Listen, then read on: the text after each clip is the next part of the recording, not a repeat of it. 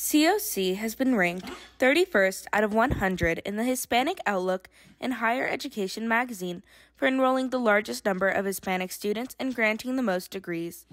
Programs such as Canyons Promise provide first time college students with the opportunity to attend COC with paid tuition for the first two years. We really recognize the fact that when you're a first generation college student, meaning that you're the first in your family to attend college, which a lot of Latinx Hispanic students fall under that category, they need extra help and support and resources more than our students that have parents that got their bachelor's or master's degree.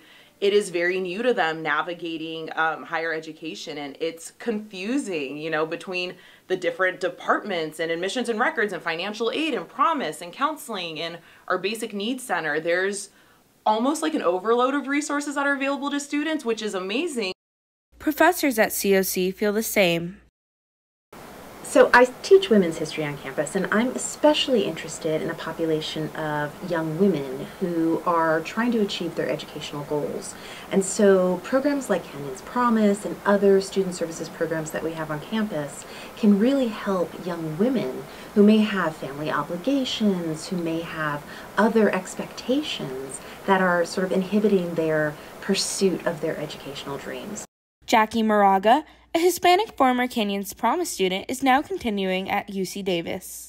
And being part of Canyons Promise also got me introduced to Mesa where I got my job and it qualifies as work study and that was really helpful because at Davis work study works a little different but it definitely prepared me to be able to apply for that and start working. Now that I'm at UC Davis I'm able to pursue my bachelor's degree for environmental science. For Canyons News, I'm Emily Diaz.